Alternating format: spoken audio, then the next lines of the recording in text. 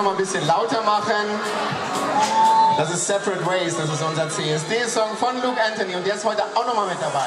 Kommt raus, Leute! Ein großer Applaus für die Menschen hinter der Veranstaltung, die das wieder möglich gemacht haben.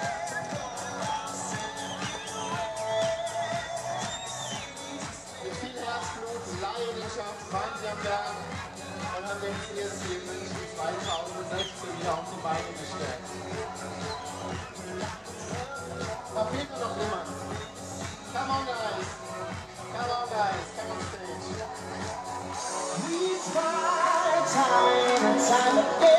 So. Jetzt möchte ich mich noch bei ein paar Leuten bedanken, die diese Veranstaltung auch möglich gemacht haben, die ihr nicht gesehen habt. Das ist zum Beispiel unsere Technik, die wirklich geschuftet haben für die ganzen Künstler, die hier aufgetreten sind. Einen großen Applaus für unser Technikteam. Es war wieder eine tolle Leistung, eine schöne Zusammenarbeit mit euch. Und dann auch ein ganz wichtiger Mensch, die Kollegin fehlt leider schon, weil sie nach Stuttgart musste. Das ist der Marco und die Tanja, die habt ihr vorhin ja schon mal gesehen auf der Bühne, die haben wieder für unsere Gehörlosen übersetzt und mit viel Leidenschaft die Musik hörbar gemacht. Auch hierfür einen ganz, ganz großen Applaus. Bin jedes Jahr sehr beeindruckt, wie ihr das macht. Dann nochmal einen speziellen Dank an den Wolfgang und an den Stefan an den Kameras. Das werdet ihr dann in den nächsten Tagen und Wochen auf Facebook sehen können. Die haben dieses Jahr mit sage und schreibe vier Kameras gedreht, um das hier möglich zu machen. Auch mit ganz viel Einsatz. Wir haben hier hinten ein kleines Fernsehstudio, also beim ZDF geht es nicht besser. Danke an Wolfgang und Stefan. Auch für euch einen Applaus bitte. Und dann nochmal einen Applaus für meine Künstler, die da sind. Luke. A big thank you.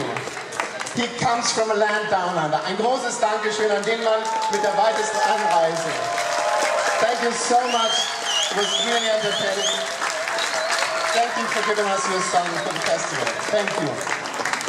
Habe ich sonst noch von den Künstlern jemand vergessen? Nein. Gut, dann Horst. Horst, where are you? You're hiding. Horst. Einen großen Applaus für Horst zum zweiten Mal nach 2004. Sie hat sehr viel getanzt im Background. Also ich glaube, nächstes Jahr kommt sie wieder und wird dann Background tanzen. Julian David braucht dann keine Tänzer mehr, keine zwei, sondern nur noch Horst.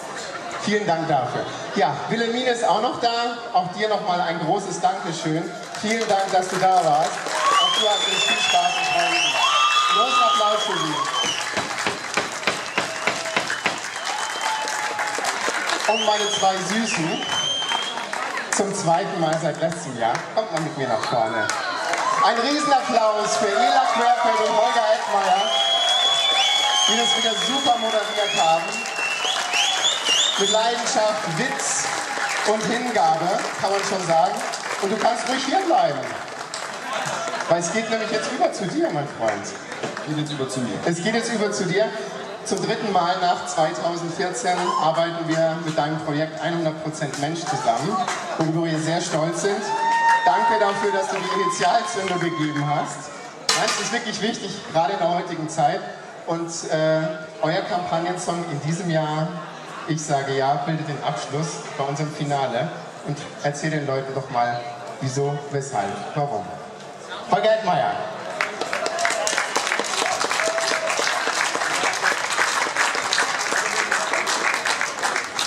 Also mit anderen Worten wird jetzt quasi erwartet, dass ich eine Rede rede. Ich soll jetzt eine Rede reden.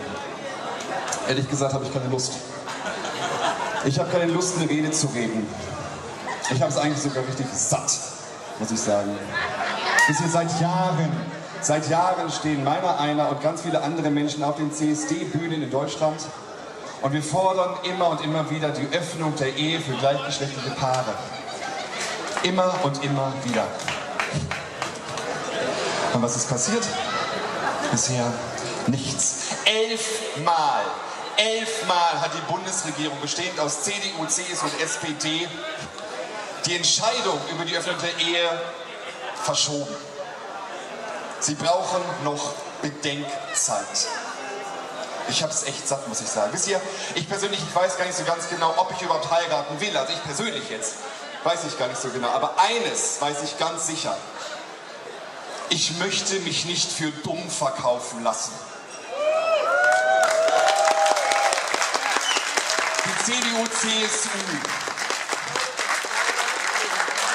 Die CDU, CSU hat kein merkwürdiges Bauchgefühl. Die CDU, CSU braucht auch keine Bedenkzeit mehr. Die CDU, CSU will die Ehe nicht öffnen. Aber anstatt einfach mal die Wahrheit zu sagen und zu sagen, nein, wir wollen keine Gleichstellung, anstatt einfach mal dazu zu stehen und zu sagen, nein, ein modernes Menschenbild ist uns egal, nein, uns ist es egal. Uns ist es einfach egal. Wenn wir tiefer reingucken, empfinden wir gleichgeschlechtliche Liebe immer noch als minderwertig. Uns ist es völlig egal, dass wir Deutschland mittlerweile lächerlich machen, weil wir eines der letzten westlichen Industrieländer sind, die die Ehe noch nicht geöffnet haben. Es ist ihnen völlig egal, dass wir mittlerweile das Schlusslicht sind, dass wir Stück für Stück immer weiter zurückrutschen. Wenn es darum geht, eine Gesellschaft aufzubauen, die offen ist, die frei ist, die vielfältig ist, die gleichgestellt ist. Es ist ihnen egal. Ich habe es satt. Ich habe es satt, wenn ich zum Beispiel Gerda Hasselfeld höre, die jetzt laut einer Zeitung gegenüber einer Schulklasse gesagt hat, es wäre wissenschaftlich, es gäbe wissenschaftliche Belege dafür, dass Kinder mütterlichen und väterlichen Einfluss brauchen. Wisst ihr, es gibt eine Studie, eine bayerische Studie. Die Uni Bamberg hat überprüft, wie es denn eigentlich ist mit Kindern in gleichgeschlechtlichen, in gleichgeschlechtlichen Partnerschaften. Und was war das Ergebnis? Es gibt keine negativen Unterschiede. Ganz im Gegenteil. Kinder in gleichgeschlechtlichen Partnerschaften haben häufig eine höhere soziale Kompetenz und erkennen Ungerechtigkeit und, und Diskriminierung viel, viel früher. Die Bundesregierung, CDU, CSU und SPD haben dieselbe Studie in Auftrag gegeben, zum selben Ergebnis bekommen. Es gibt für mich nur zwei Antworten. Entweder ist Gerda Hasselfeld komplett uninformiert oder sie sagt nicht die Wahrheit. Es ist einfach so, wenn einem die Wahrheit nicht passt, wenn man keine Argumente mehr hat, dann verdreht man die Wahrheit halt so lange, bis sie einem passt. Ich habe es einfach nur noch satt. Ich habe es nur noch satt, muss ich sagen. Wenn ich höre, dass die Ehe, dass die CDU sagt, die Ehe dient dem Zweck des Kinderkriegens. So eine Aussage ist eine, das ist eine Ohrfeige für alle alleinerziehenden Mütter, für alle alleinerziehenden Väter, für alle Patchwork-Familien, ja und auch für alle Regenbogenfamilien. Es ist ein Schlag ins Gesicht für alle Ehepaare, die sich Kinder wünschen und sie nicht können, nicht bekommen können. Und was ich besonders perfide finde, was ich besonders perfide finde, ist auch ein Schlag ins Gesicht für alle Rentnerinnen und Rentner, die sich entscheiden, ihres, ihren Lebensabend gemeinsam zu verbringen. Aber diesen Witz, Ehe ist zum Kinderkriegen da, diesen Witz wird eine CDU, CSU-Politikerin oder ein Politiker niemals auf einer Rentnerhochzeit erzählen. Das trauen sie sich nicht.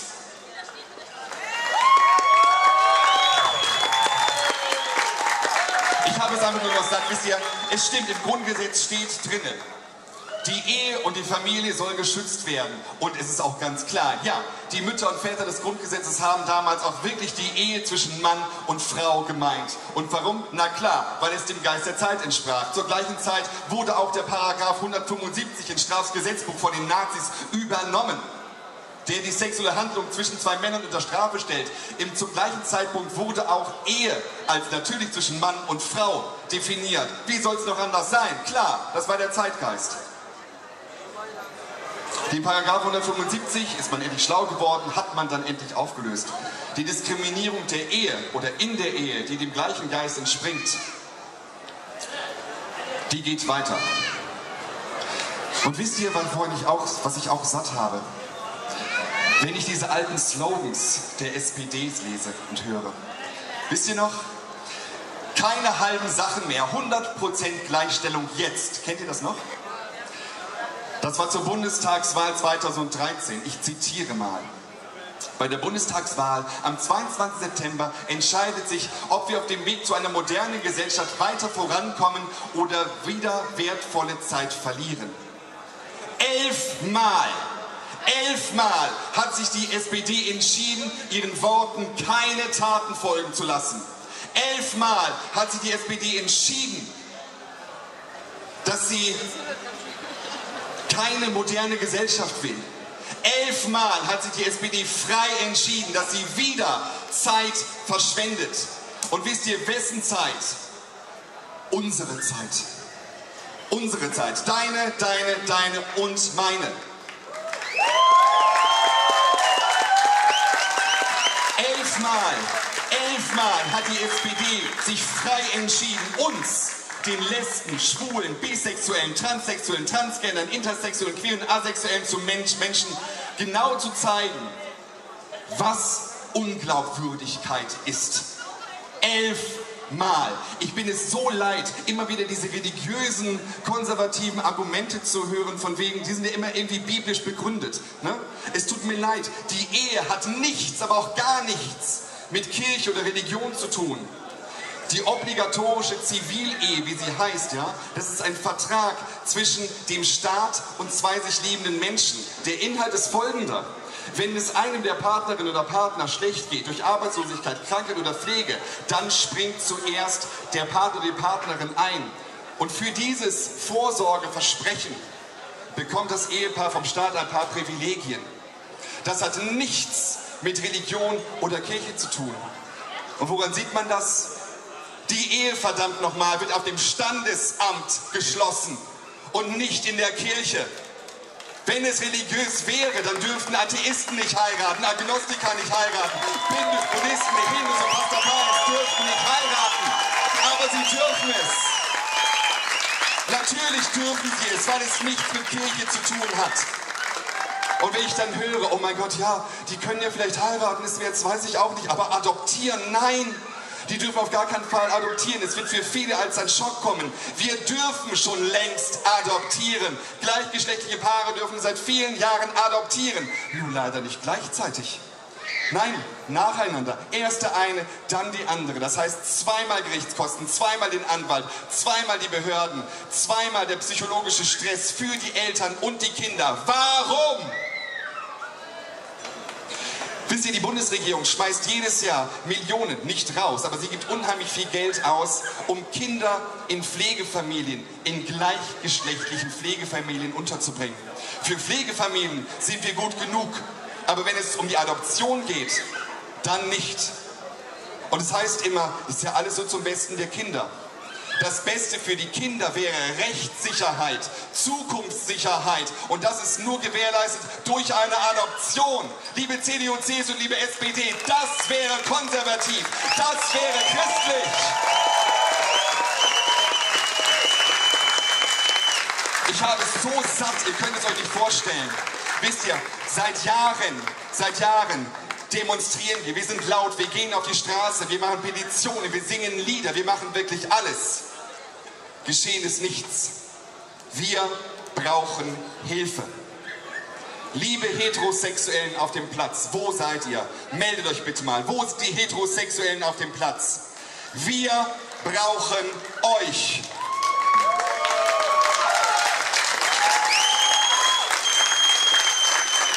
Geht hinaus. Das ist unsere allergrößte Bitte. Geht hinaus, sprecht mit euren Freundinnen, sprecht mit euren Freunden, mit euren Arbeitgebern, mit euren Familien. Löst endlich dieses Missverständnis auf. Auf die Homo-Ehe existiert nicht. Wir dürfen nicht heiraten. Wir haben alle Pflichten geerbt, aber nicht alle Rechte. Geht raus. Wenn ihr Politikerinnen und Politiker seht, sprecht sie an, nagelt sie fest, quetscht sie so lange aus, bis sie endlich ihre wahre Haltung zeigen. Und mit ihrer Haltung auch zeigen, was für ein Gesellschaftsbild sie haben. Und macht ihnen klar, dass ihre Haltung auch wahlentscheidend ist. Und ganz besonders, wenn ihr mit Politikerinnen und Politikern der SPD sprecht, nagelt sie fest. Sagt ihnen, dass sie jetzt die Chance haben. Sie haben jetzt ein Stück weit die Möglichkeit, ein kleines bisschen Glaubwürdigkeit zurückzubekommen. Und zwar jetzt und nicht erst zur Bundestagswahl, sondern jetzt. Bitte, liebe heterosexuellen Menschen, wir brauchen euch. Und wir sind so dankbar und so glücklich, dass ihr heute hier beim CSD München, hier auf dem Marienplatz, an unserer Seite steht. Dankeschön an all die vielen heterosexuellen Freundinnen und Freunde, die uns helfen und unterstützen. Dankeschön.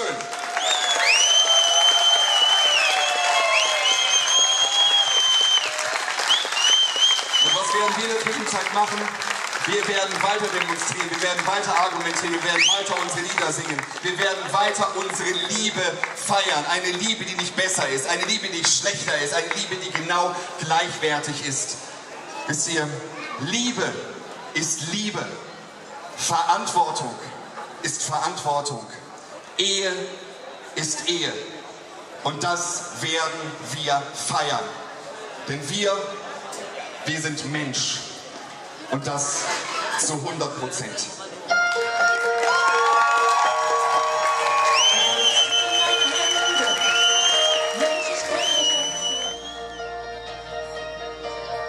Alles, was ich wollte, steht vor mir.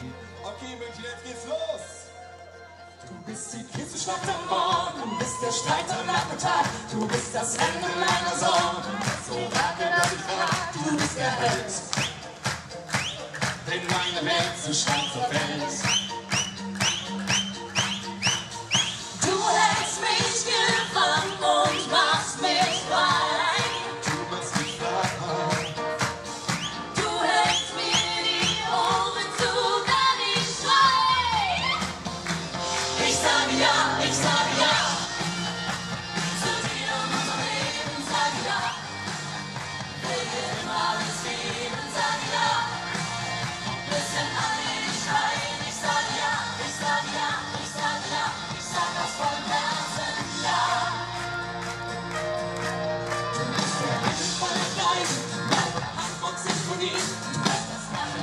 Lachen und das Schweigen, und das sichere Knie, mein Hoffnung.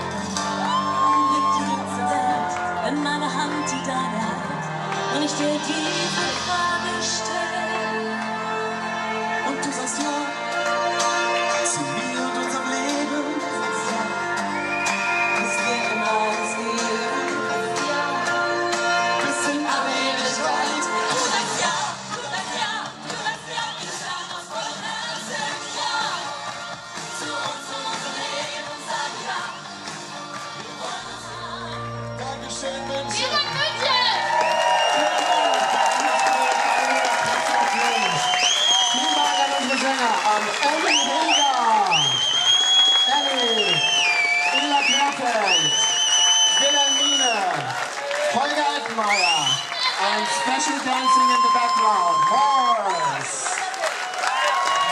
Vielen, vielen Dank.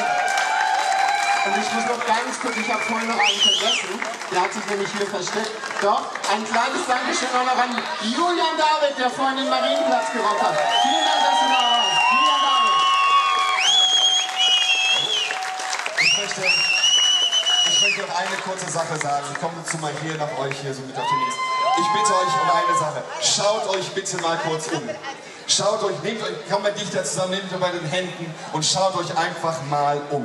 Auf diesem Platz. Hier stehen ältere Menschen, hier stehen jüngere Menschen. Hier stehen Menschen mit heller Haut, hier stehen Menschen mit dunkler Haut, mit bemalter Haut. Hier stehen Frauen, Männer und alle Farben des Geschlechterregenbogens. Hier stehen Atheisten, Agnostiker, Christen, Muslime, Jüdinnen, Pas Pastafariens, Buddhisten, Hindus. Stehen Schwule, hier stehen Lesben, Polysexuelle, Pansexuelle, Bisexuelle, Asexuelle, alle sind sie hier. Schaut euch um. Das kann uns niemand nehmen. Wir lassen uns nicht spalten. Wir lassen uns nicht spalten von irgendwelchen rechtspopulistischen Hitzern wie der Eulen Kelle oder der Weber Förde oder der Eulen Storch. Wir sind hier. Das hier ist eine Form von Gesellschaft, die wir eigentlich haben wollen. Offen, frei, gleichberechtigt und vielfältig. Was wäre das für eine wundervolle Welt? Was wäre das für eine wonderful world?